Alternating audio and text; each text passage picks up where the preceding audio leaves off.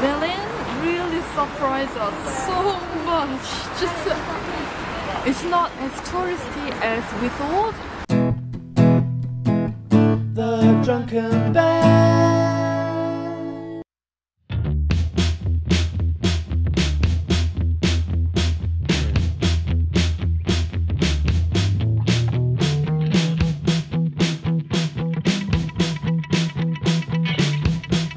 Berlin is a really interesting place in the world. It has a culture unlike many other countries and really has its own way of doing things. In this video, we'll dive into the top things you can do when visiting this incredible city. Oh, and they really love their bears. First up is a big part of Berlin's modern history the Berlin Wall. It really is an interesting walk along the wall as you soak up not only the history of Berlin, but also the art and culture that has spawned because of it.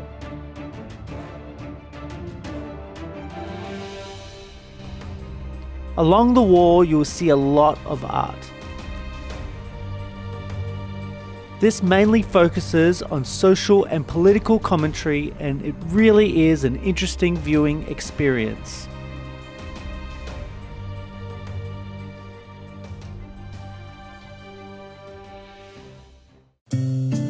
After a long walk, we stumbled upon a cafe called The Past is Over, and we were really happy that we did. Berlin's cafes always seem mysterious on the outside and uniquely different on the inside. Okay, so this this here is a green tea chai latte. So this place had heaps of different types of chai lattes, and I'm always a bit worried about it too because sometimes it can be too spiced. Uh, this one is like everything in Berlin so far, incredible. Ah, so creamy, so flavoursome, nice and sweet too. The fridge is full of beers. Yeah, and that fridge back there that you can see is actually just take take it as you go, and then you pay for it later.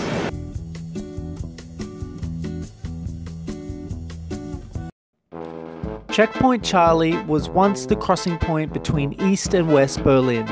Today, it is a place with a really odd vibe about it. Many tourists stand around taking photos, and the soldiers are more than happy to put on a show.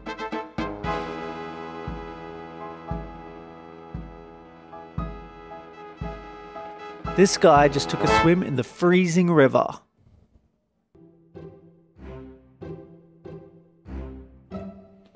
The architecture in Berlin is breathtaking, and we started off at the Reichstag building.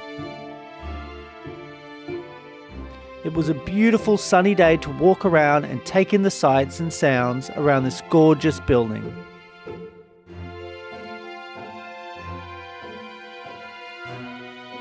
Close by is the Brandenburg Gate, an 18th century monument which is really amazing to experience up close.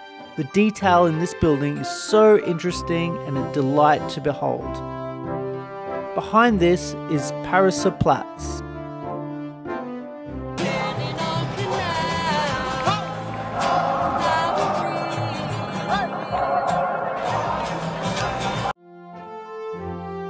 A square which is an urban space where people are walking around and soaking in the surrounds. Along with buskers and street performers, this area really is a beautiful place to hang around in Berlin.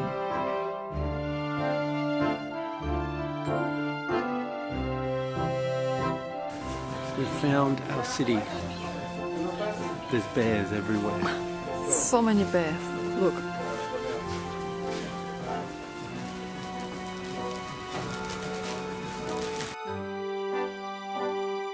It's hard to choose which building is more striking, but I think my favourite might have to be the Berlin Cathedral.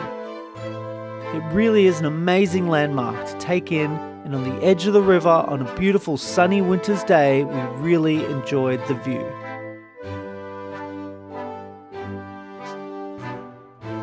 Right next to that is the Altes Museum.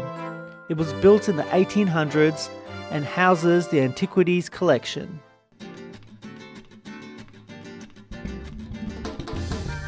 Cafe Dritta was another nice surprise which we stumbled upon. We enjoyed a delicious breakfast here and a lovely tea. The atmosphere very much felt like a cozy living room with a chilled out vibe.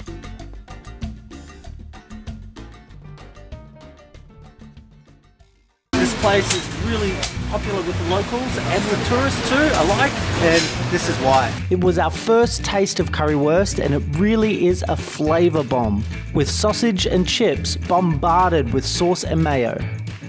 There is plenty of hip vintage fashion on offer here, and with the beautiful architecture of the buildings as the backdrop, we absolutely fell in love with this area of Berlin. If you're looking for a cool cafe to relax and have some delicious food, then head down to Hallesches Haus. A hipster style cafe with high ceilings and shared tables. The food on offer tastes very fresh and delicious, and the coffee is pretty good too.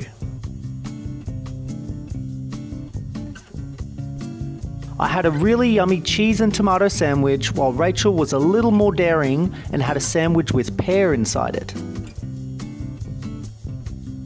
There's also a little homeware section selling cool little knickknacks and a great courtyard for those warmer months. This is for James and Sarah, live life in a box.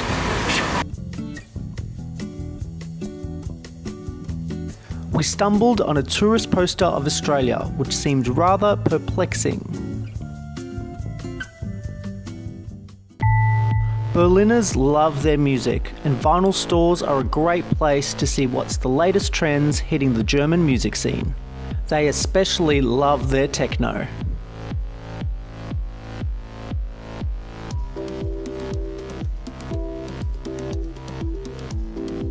The street art is everywhere around this area, and it adds to the creative vibe that Kreuzberg seems to take in its stride.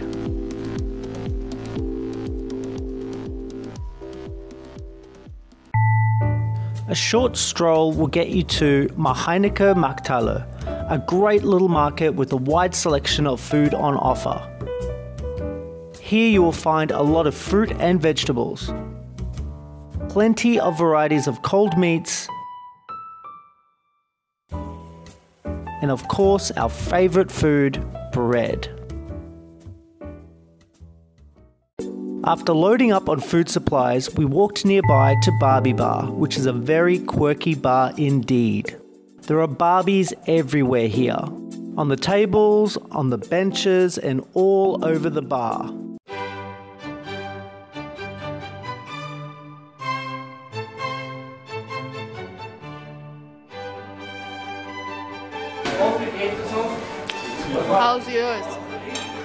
So yummy. It's massive. Flavor bomb. Mm. That's nix.